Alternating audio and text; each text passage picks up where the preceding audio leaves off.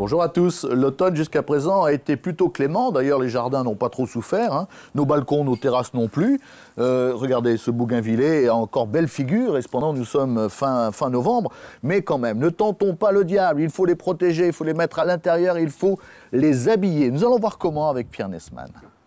Commençons par les bougainvillets qui sont euh, des plantes méditerranéennes. Bonjour Pierre. Bonjour Laurent, effectivement, comme l'olivier ici, ce sont des plantes méditerranéennes comme le laurier rose par exemple, qui donnent une ambiance un peu méditerranéenne et méridionale à la terrasse pendant l'été. Alors ils sont cultivés dans des pots, et donc ça va permettre de les rapprocher de l'habitation, de les rapprocher d'un mur. Contre le mur, Voilà, hein. en automne. pensez-y, parce que c'est très pratique, il fait beaucoup plus chaud contre le mur.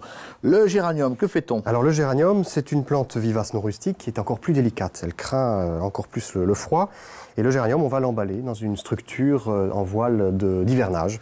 Alors on va commencer par installer Des piquets des- des- un gabarit, tout un système de, de support en, en bois avec des, des bambous comme ceci.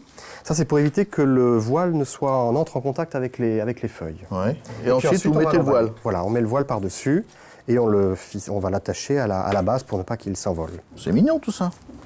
Et nous retrouvons nos plantes méditerranéennes contre le mur, mais il est évident qu'on peut les mettre aussi à l'abri. hein, À l'abri, absolument, dans une pièce lumineuse, euh, à 7, 10, 10 degrés à peu près, aérée.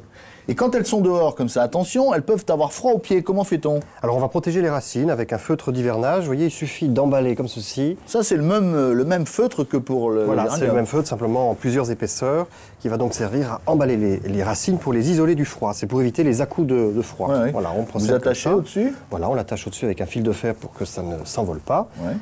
Comme ceci. Et le petit truc de Pierre, c'est d'arroser, car on oublie trop souvent qu'il faut les arroser aussi. Mais oui, parce que très souvent, ce sont des plantes qui ont du feuillage, qui continuent à, à- à vivre, à fonctionner, et donc il faut apporter de l'eau quand le substrat est sec en surface, c'est-à-dire tous les 10-15 jours à peu près. Merci Pierre. ceci. Au revoir à tous.